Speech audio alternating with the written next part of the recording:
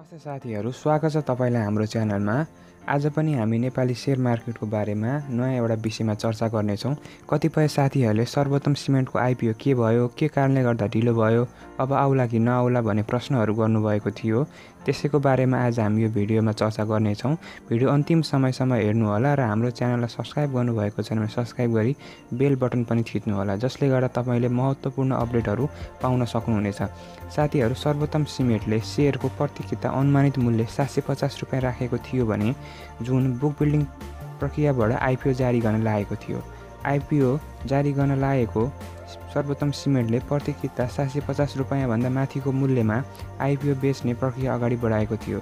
साथीहरू पहिलो चरणमा कम्पनीले उक्त सेयरमा संस्थागत लगानीकर्ताहरूले तोकेको मूल्यभन्दा माथिको मूल्यमा बोल कबोल गर्नेछन् र बोल कबोल पछिको मूल्यमा औसत मूल्य निकाली त्यसको दस प्रतिशत घटाएर सर्वसाधारणलाई सेयर बेच्ने कम्पनीले जनाएको थियो।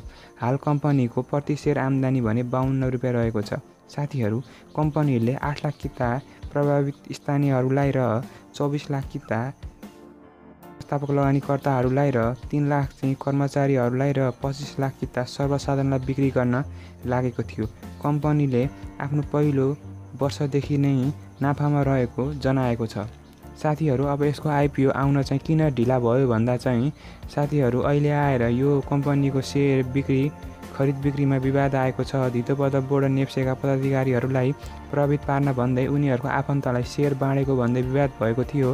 धितेपत्र बोर्डको अध्यक्षको आफन्तलाई यो सेयर खरिद गरेको भन्दै सर्वसाधारणले आपत्ति जनाएपछि अर्थ मन्त्रालयले छानबिन समिति गठन गरेर उनलाई छानबिन गरिरहेको छ र पछि उनलाई यो सो पदबाट उनलाई बर्खास्त पनि गरेको छ। साथीहरू अब यो कम्पनीको आइपिओ चाहिँ विवाद टुङ्गी नटुङ्गिसकेको कारणले गर्दाखेरि आइपिओ आउने सम्भावना चाहिँ अहिले तत्काल न्यून रहेको छ।